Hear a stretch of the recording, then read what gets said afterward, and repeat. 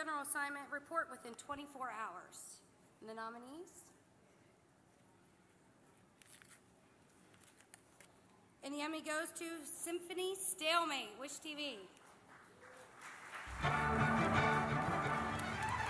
As the sun set outside Carmel High School Saturday night, a familiar strain just past the trophies.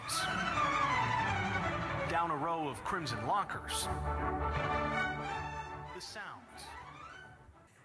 I'm here to accept this on behalf of Troy Kehoe and Brett Bensley. They're a great team, and Troy's really an up and coming investigative reporter who you'll see a lot of in the coming years. So thanks.